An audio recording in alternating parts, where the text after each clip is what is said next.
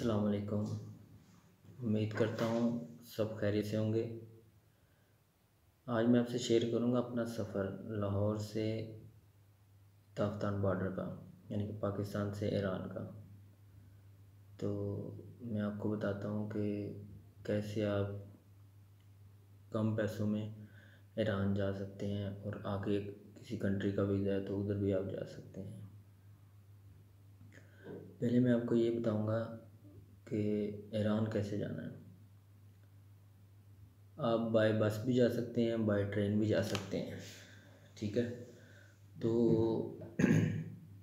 میں گیا تھا بائی بس کیونکہ مجھے ٹکٹ نہیں ملی تھی ٹرین کی۔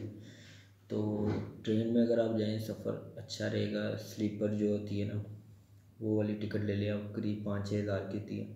یہ مجھے ملی تھی بس کی تین ہزار کی۔ یہ بزنس کلاس تھی۔ ٹو بائی ون کی سیٹیں کھلی ہوتی ہیں۔ اچھی تھی ٹو بائی ٹو بھی ہوتی ہیں۔ دن میں تین گاڑیاں جاتی ہیں سدا بہار کی۔ تو ان کی سروس اچھی ہوتی ہے۔ تو لاہور سے ہم نکلے۔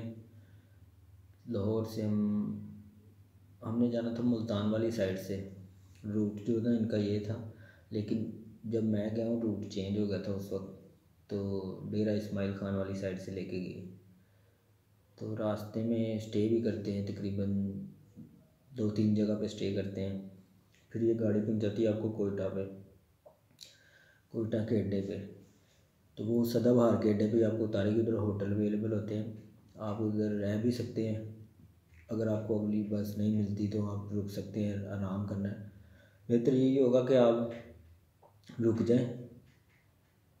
ایک رات رک جائیں، ٹھیک ہے، ریسٹ کریں۔ فریش ہوں پھر نیکسٹ ڈے آپ جو ہے نا اگلی گاڑی لے کے جائیں۔ دوسری گاڑی جو ہے وہ بھی سدا بہار کی جائے گی۔ اور بھی جاتی لیکن ان کی سروس اچھی ہے۔ ٹھیک ہے، میں ادھر ایک رات رکا تھا۔ پہلے میں نے تقریباً تین گھنٹے میں نے اسٹے کیا تھا، تو میں نے تین بجے کی ٹکٹ لی تھی۔ تو وہ بس کینسل ہو گئی۔ اصل میں ان کے پیسنجر نہیں پورے تھے، اسی لیے۔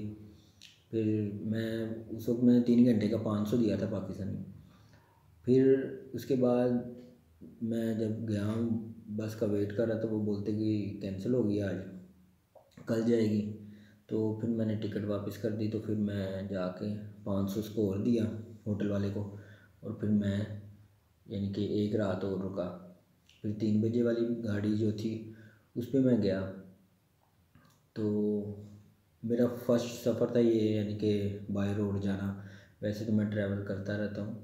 بائی ایئر تو یہ پہلی بار یعنی کہ میں یعنی کہ ہوتا بیسکلی ترکی میں ہوں، تو ادھر سے میں دوسری کنٹری میں بائی روڈ تو ٹریول کیا، لیکن پاکستان سے نہیں کیا تھا فرسٹ ٹائم تھا۔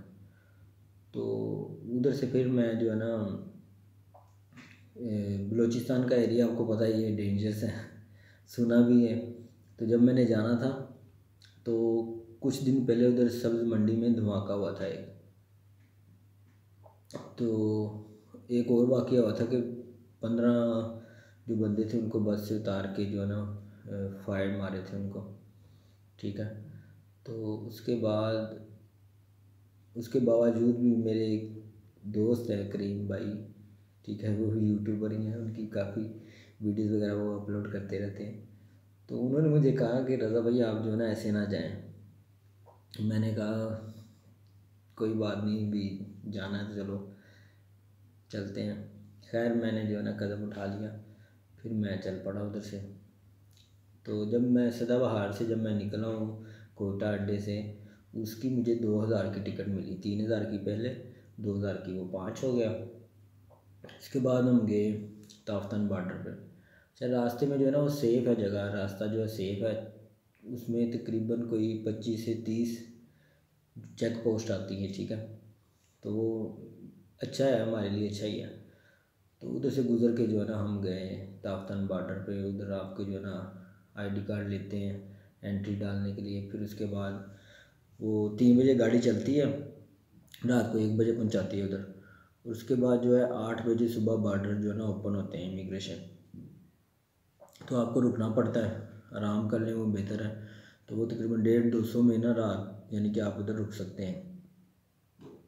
پھر اس کے بعد جناب بارڈر اوپن ہوئے، تو پھر ہم لوگ گئے۔ میرا تھا ٹورسٹ ویزا تھا، باقی جو تھے میرے ساتھ بس میں، ان کے سب کے جو زیارت ویزے تھے۔ تو ان کو تو ادھر روک لیا تھا ویسے، تو مجھے